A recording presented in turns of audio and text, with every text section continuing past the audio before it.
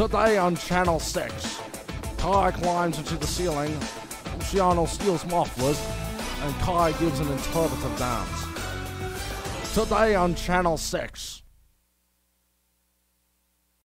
Good morning, Coronado. Today is Tuesday, January 10th. I'm Joe, And I'm Olivia. and this is Channel 6 News.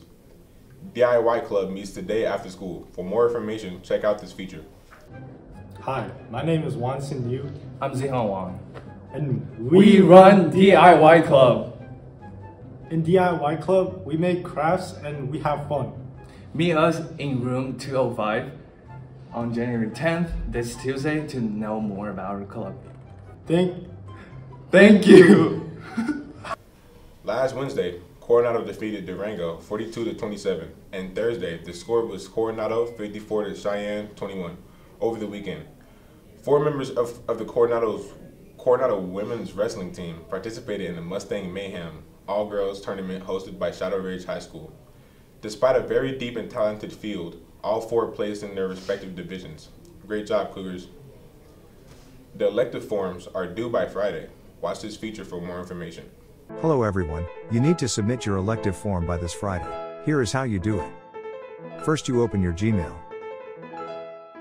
Then you want to search for the form.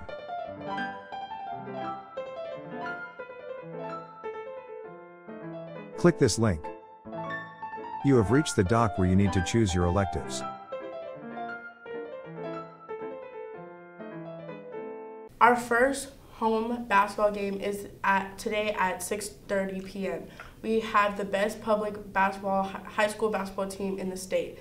The game is against Palo Verde. Freshman starts at 6:30, JV starts at 5 o'clock, and varsity starts at 6:30. There is a wrestling match at Legacy against Canyon Springs. The weigh-in is at 3 o'clock and the match begins at 4. There is a flag football game against Bonanza. JV begins at 3:30, varsity begins at 4:30, and freshman begins at 6:30.